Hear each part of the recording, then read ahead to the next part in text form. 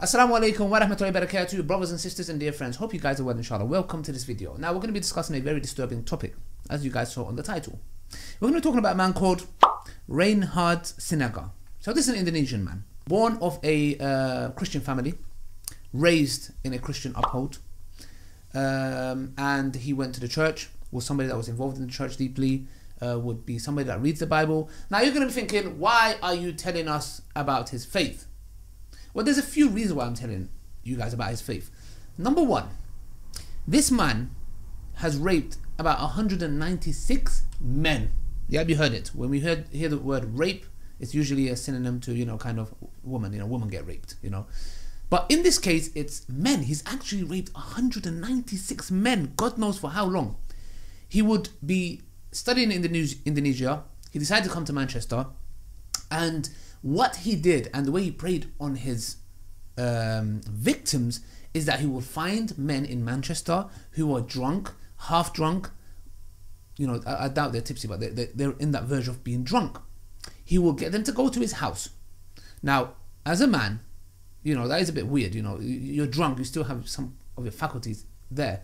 But you can clearly see that he took advantage of them. He took them to his house and said to them, Look, you can sleep here you know, until you wake up. And then he will give them a special formula. Yeah? He will give them this special formula that they would drink and they would literally pass out. Yeah? And from there onwards, he does whatever he wants to them. Literally whatever he wants to them. And what's really crazy is that when he was being trialed, he said that because how they found out about this was that they went to his flat and they found a bunch of phones. And in these phones, they saw him actually video recording it from different angles. And not even one angle, he's, he's recorded from different angles to them. And he said to his um, mother, his own mother, uh, that this was like some kind of a documentary for him. Yeah? And it just shows you how sickening and how disgusting you must be you know, to actually do this. Now, how did he get caught? Here's a little video footage of what happened and how he ended up getting caught in 2007.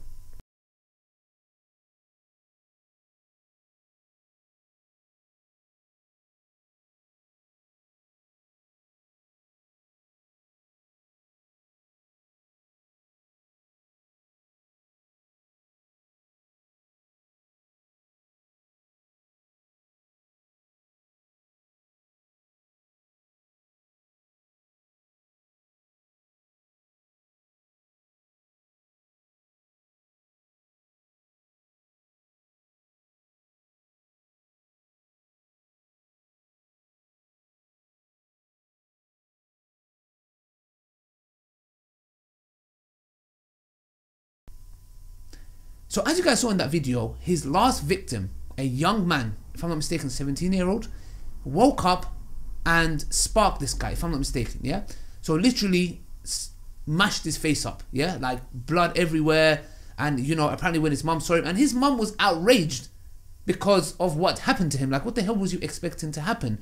You know, how could somebody, she was saying, you know, he was unmatched in the fight. You know, a big white man was beating up this little, you know, miskin, uh, Come on. Now, let's go back to the first point that I mentioned 196 men being ra raped.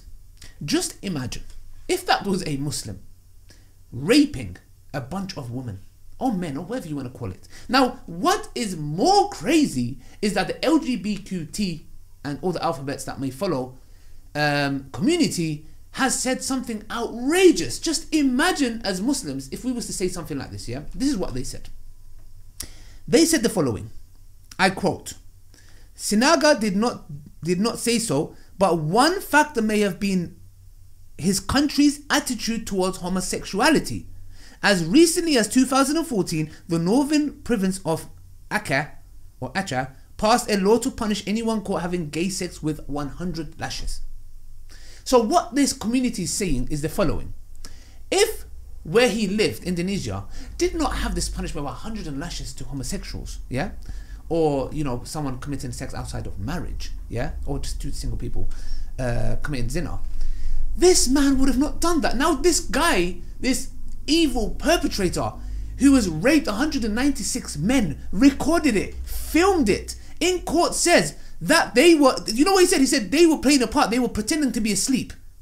They were pretending it was an act. They were pretending to be asleep while I was raping them, and they're just ashamed of it. You know, they loved what I was doing to them. Yeah, and some of their his victims, men, tried to commit suicide.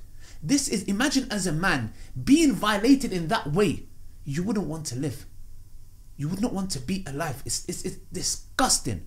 So we need to firstly highlight that these things happen to men as well. You know, because sometimes it's always, you know, women will know these things happen to men as well. Imagine you have a Muslim man a Muslim man goes and rapes a bunch of women or whatever it may be. Yeah? Or imagine the, grooming issue that has been happening. Yeah? This is a devout Christian man, by the way. Those Muslim men who were doing this were not devout. They were not devout. They were living the Western lifestyle of clubbing, drinking, partying, uh, uh, bringing these girls, giving them drugs, etc.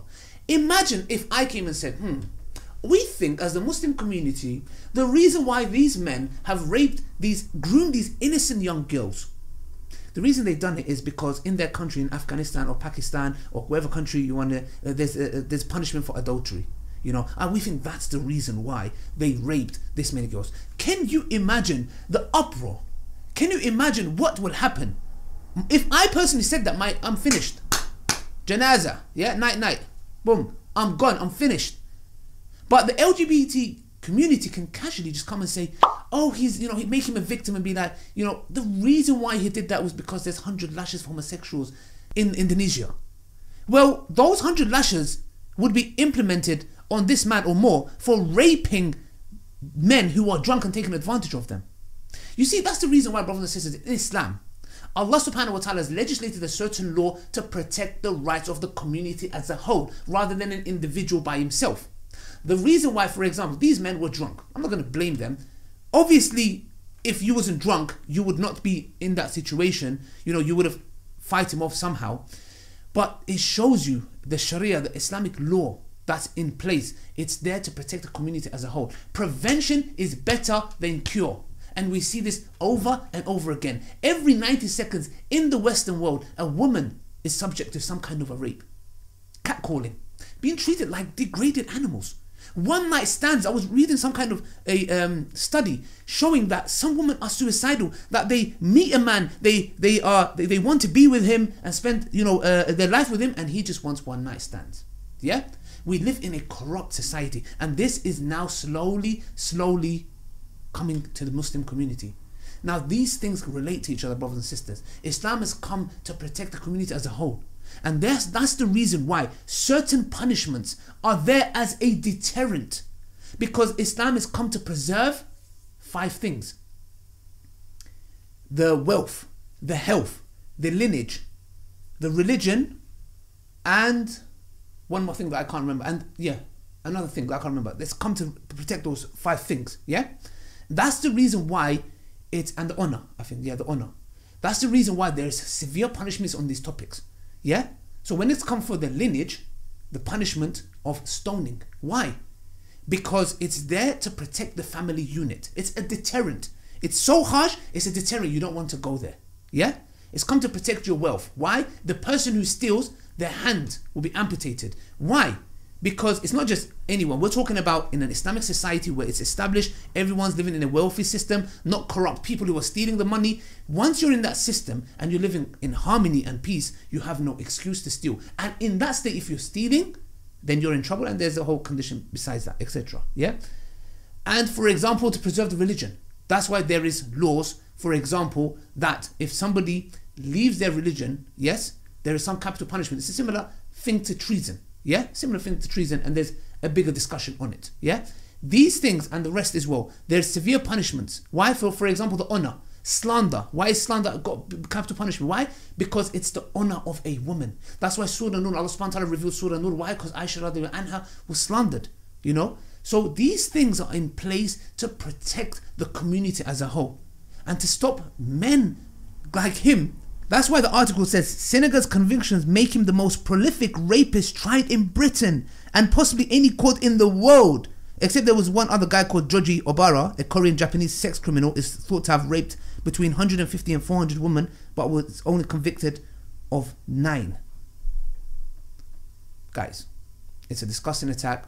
We did not, you know, nobody blamed this religion. Like the reason I mentioned this religion in the beginning was to just highlight the issue. If this was a Muslim man doing this, we would be blaming all we'd be blaming Islam and this and that. But right now, as you can see, what makes me more it, makes it more sickening and disgusting is that the far right choose and pick you know, it's, it's sad. It's like saying, you know what, I prefer to talk about this because I want to use it to my advantage and propaganda. This, I'll turn a blind eye. So they don't really have an issue with young girls being raped or being groomed, you know, or pedophiles doing certain things. Their issue is with the religion itself. But we're not going to do that. We're not going to come and say this is a Christian Christian problem, even though we have every right to. We can say, you know what, hold on a second, these are devout men, priests. You know, we can say these are devo- devoted men to their faiths, to Christ, that are carrying out these attacks. But we're still not going to do that because we believe that Christianity doesn't teach these things. So, guys, I'm sure you guys were disturbed as much as I was, but we've learned a lot of things in this uh, specific case, and we pray for their victims because it's disgusting. Some of them are suicidal, and we ask for them to be recovered mentally from this uh, scenario, inshallah. And this man is actually has no remorse in prison. He had absolutely no remorse. What a disgusting man that deserves a life sentence of 30 years, and inshallah he never comes out, and hopefully he turns back to his Lord, Allah subhanahu wa ta'ala, asks for forgiveness for his disgusting crimes. From me, your brother Ali Dawah, till next time, Assalamu alaikum wa rahmatullahi wa barakatuh.